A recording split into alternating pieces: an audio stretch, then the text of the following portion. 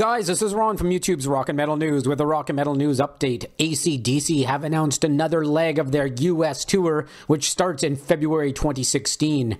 20 more shows. Uh, the first one starts February 2nd in Tacoma, Washington, and finishes off on April the 4th at Madison Square Garden in New York City. You can check out the tour dates in the description of the video, and tickets go on sale Friday, December the 18th. This is Ron from YouTube's Rock and Metal News. Thanks for tuning in.